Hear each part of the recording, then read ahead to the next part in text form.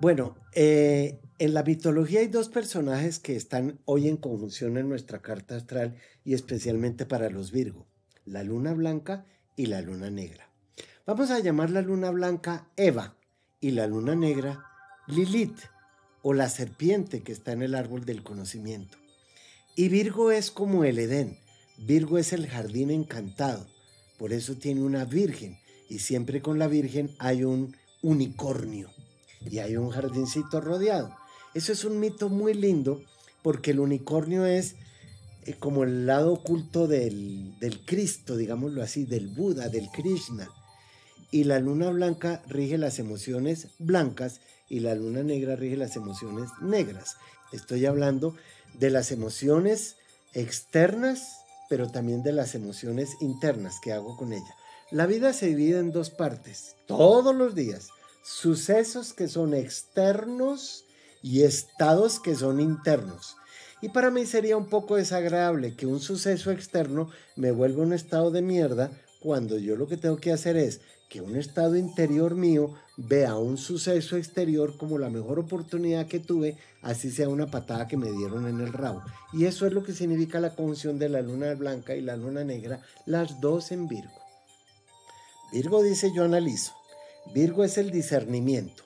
Si la luna blanca son las emociones blancas y la luna negra las emociones que me van a indigestar, pues ustedes los Virgo tienen que estar ahora muy seguros de con quién se van a indigestar porque no le pueden echar la culpa a nadie de las indigestiones emocionales que tengan. Y no solamente los Virgo, yo nací con Saturno en Virgo, de modo que ahora tengo hasta a la luna y a la luna negra encima de mi Saturno y tengo que ver, en, eh, como están en mi casa 9, esa expedición que vamos a hacer entre los mayas que nos va a llevar al inframundo, pues el inframundo lo rige la luna negra. De modo que en este tránsito de la luna negra por Virgo, que no le vuelva la, luna negra o un estado emocional.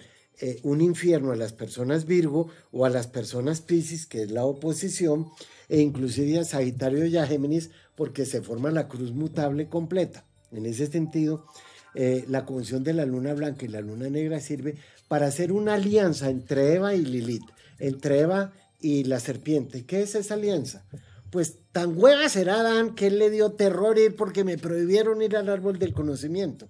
Pero como Eva no había sido creada antes de prohibirlo del árbol, sino después, es decir, la, la prohibición fue para Adán, la mujer es mucho más inteligente que el hombre en la intuición que ella maneja. El hombre es la razón, la mujer la intuición. O sea que la alianza que hicieron entre Eva y Lilith para el conocimiento es fantástico lo que ustedes tienen ahora. Por eso es que todo lo que tenga que ver con Virgo rige la nutrición, productos naturales y orgánicos, pero también la nutrición cerebral. O sea, poner ideas en nuestra mente con la luna negra que rompan los tabúes, porque a la luna negra le encanta romper tabúes. Le digo a Adán, usted no me sirve porque para estar en la cama es un baboso ahí, yo me voy a buscar a otro. Y entonces tuvo diamante al demonio. Excelente. Esto es la luna negra. Ir contra las leyes. Ir, es la mujer que se revela. Es la mujer que con su inteligencia del árbol del conocimiento dice, un momentico, ¿Cómo así que me dijeron que si yo probaba el árbol del conocimiento me iba a morir? No, pues no me morí. Lo que tengo es más sabiduría. Por eso la el primer mentiroso de, de la humanidad fue Jehová. Porque la primera mentira que les dijo fue esa. Que si probaban del árbol del conocimiento, no. Lo que adquirimos fue sabiduría. Y esa sabiduría oculta la rige la luna negra o Lilith. Les aconsejo que se hagan muy amigos de ella, especialmente a los escorpión, porque la luna negra rige escorpión, y a los Virgo que la van a tener ahora en su signo hasta septiembre de este año. Ya se va de Leo, se va ahora en el mes entrante y volverá pues por ahí en unos nueve años.